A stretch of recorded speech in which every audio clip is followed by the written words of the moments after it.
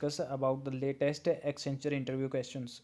And in this interview, uh, firstly, the interviewer will start the introduction uh, with the self introduction, then about the major project, then if you are a team lead, how you manage the batchmates, then favorite subject and least subject, best day in college. That's it. So this is very easy interview in Accenture. The interview question asked in the Accenture are very easy as compared to the uh, online exam. So uh, you can prepare the accenture exam interview uh, properly. And this is the second interview experience conducted by the accenture. And in this uh, interview uh, i had placed in accenture through campus placement uh, should i share my experience about the interview? First like firstly they asked to introduce yourself. Then they asked what all project you have done then which project uh, do you like among all the project? Then explain about the project. What was the teamwork in your project if it is a group project? Then how will you manage if you are the team uh, leader of your project? Then what other changes you can implement in your project in the future? And lastly if you have any queries about the role or company? That's it about the interview and the next interviews uh, also started with the self introduction then about branch background and why i have choose it field then hobbies then few general question based on my hobbies. Uh, what you know about the accenture? Accenture ceo accenture headquarter accenture indian ceo accenture location in india.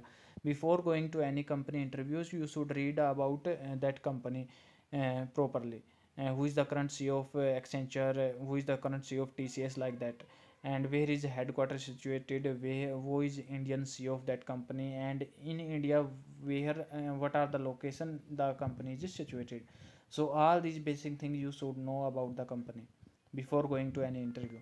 And the next interview is also started with the self introduction, then about the final year project, then is it group project, is there any situation in your life that anyone motivated you so that it helped you very much do you have gave any suggestion to anyone that helped in their career? What is your role in the project? And which language is better c or python and why? Uh, what do you learn about the project? Any question you want to ask me and really it is very nice experience too. And the next interview is also started with the self introduction then what are the project you have done? Then explain you briefly about the project. Then what was the module you have used in your project what is your role in the project and size of your teammates? What are the challenges you have faced during the project? How you overcome them? Why accenture? Short term and long term goal. So these are the very basic question asked in the uh, accenture interview. And uh, in the accenture interview uh, the firstly the interviewer will ask about the self introduction then question from your project. So don't mention any fake thing in your resume.